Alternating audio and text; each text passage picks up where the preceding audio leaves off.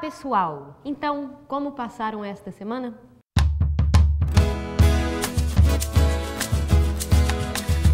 So many new ideas, I'll work to make them worth. I can reach higher by trying hard. What will be my choice? My future I will write. I'm strong enough to fight for all my rights. To be a doctor, a janitor, a nurse, engineer, DJ, waiter, a policeman that serves. An actress, writer, driver, designer, you're free to choose a life that you deserve. Knowledge is the source in which I'll find my way. That's the start to make my dreams come true. I'll put my mind into getting in this world of work to be myself a part of this world too. To be a doctor, a janitor, a nurse, engineer, DJ, waiter, a policeman that serves.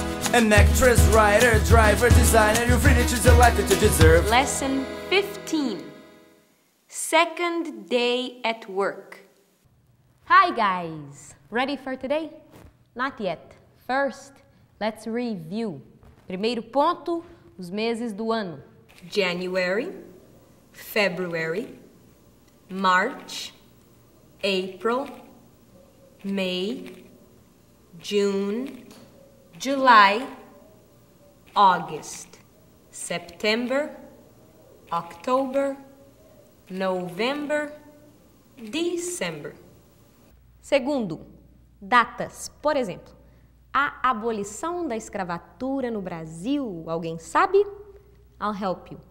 13 de maio de 1888 ou May 13th, 1888. Lembram-se dos centos? 100, 200, 300 e por aí vai. E nós vimos também os thousands.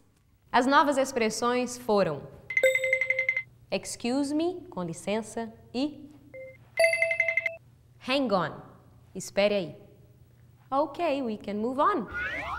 Hello, Mariana. Hello, Pedro. Good news? Yes, we have a job now. I'm a call center operator. And I am a waiter at the snack bar. They're so nice. Congratulations. Thank you. What time do you have to work, Pedro? Monday is my day off. On Tuesdays, Wednesdays, and Thursdays, I have to work from 10 to 6. And on Fridays and on weekends, I, I start at 9 and finish at 7 o'clock. And you, Mariana, do you like your job? Yes, I do. Tell me about your first day. You are not going to believe if I tell you. Come on. Hoje vamos aprender sobre as preposições, prepositions, in, at e on. Reparem que dependendo da situação, utilizamos uma ou outra. Vejam como Pedro respondeu a respeito dos horários de trabalho dele. What time do you have to work, Pedro? Monday is my day off. On Tuesdays, Wednesdays, and Thursdays, I have to work from 10 to 6. And on Fridays and on weekends, I, I start at 9 and finish at 7 o'clock. Quando estava falando dos dias da semana, Pedro utilizou on. On Tuesdays, on Fridays. Já para falar das horas, a coisa muda de figura. Dizemos at 9 o'clock, at 11 o'clock. Mas enquanto isso, aí vão algumas dicas para a gente aprender a utilizar essas preposições. On para os dias da semana. On Monday, on Tuesday, on Wednesday. In para territórios grandes. In Brazil, in Acre, in Minas Gerais. Ou para os cômodos. In the kitchen, in the living room. E at para as horas. At 5 o'clock, at 10 o'clock. Ou para lugares específicos. At the drugstore, at home. Ok. I have to go, guys. I have to be at the travel agency at 10 o'clock. Okay, see you at night. We have to prepare the party this weekend. Oh, okay. What time do we meet? We can meet at uh, 7 in my house, okay? Okay. Okay. Bye-bye. Bye bye. Por aí dá para a gente reforçar a diferença entre as preposições. Vejam a frase da Mariana. I have to be at the travel agency at 10 o'clock. At the travel agency, um lugar específico. At 10 o'clock, para falar das horas. Ready for your second day at work? Yes, I am. Okay, let's start. We are starting the high season. High season is when people travel more. Our high season is during the summer. Yes, that is true. It is during the summer that people have vacations. That's right. So those are the places people want to visit more. Porto Seguro, Recife, Rio de Janeiro. Do you know any of these places? No, I don't. Let's see. Very beautiful. Beautiful, right? Yes. Vamos aprender a dizer as estações do ano em inglês. Let's learn how to say the seasons of the year in English.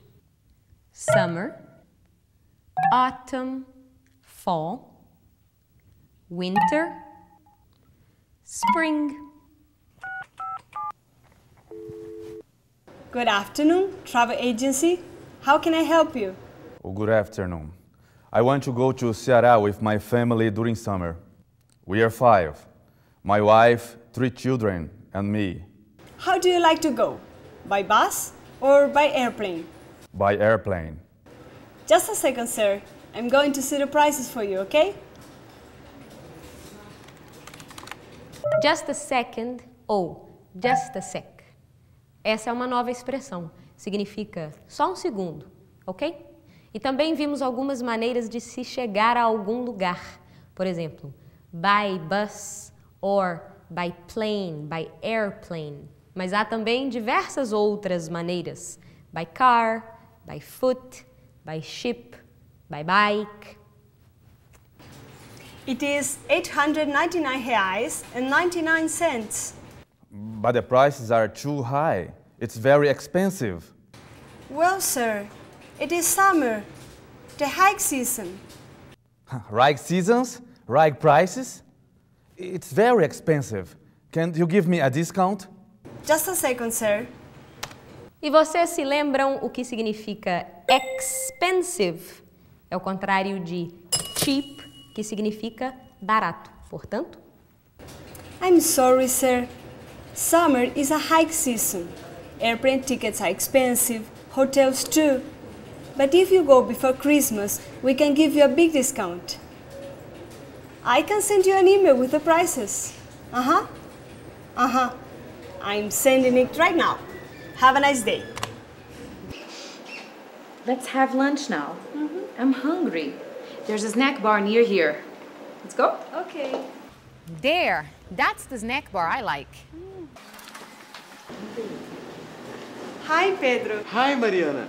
What a surprise. My supervisor loves this snack bar. We are having lunch here today. Yes, I want to have a sandwich. Well, then let me get the table for you. Please.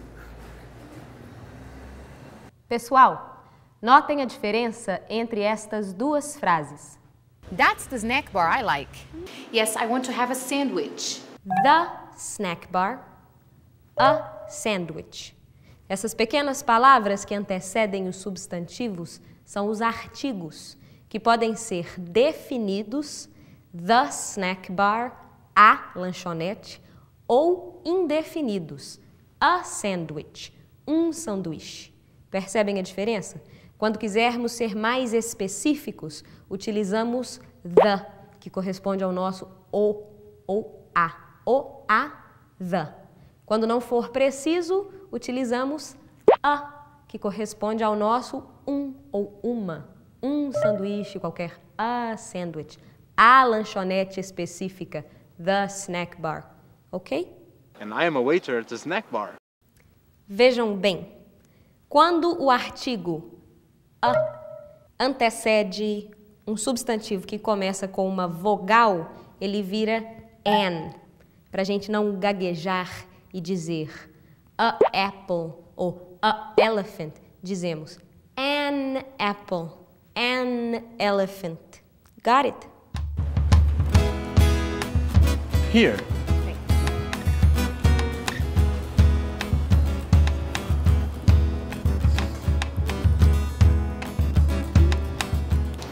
I take your order? Do you like sandwiches? Yes, I do. So let's order two, okay? Okay, fine. Two sandwiches and two soft drinks. Two soft drinks. Okay. All right.